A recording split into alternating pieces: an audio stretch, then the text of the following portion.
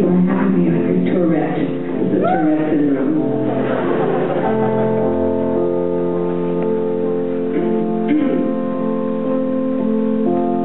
I did